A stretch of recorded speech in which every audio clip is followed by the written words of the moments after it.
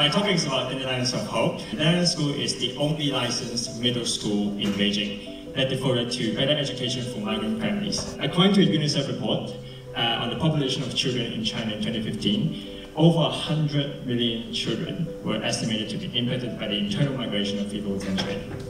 As either one of the parents or both of them that uh, leave home to the cities for work.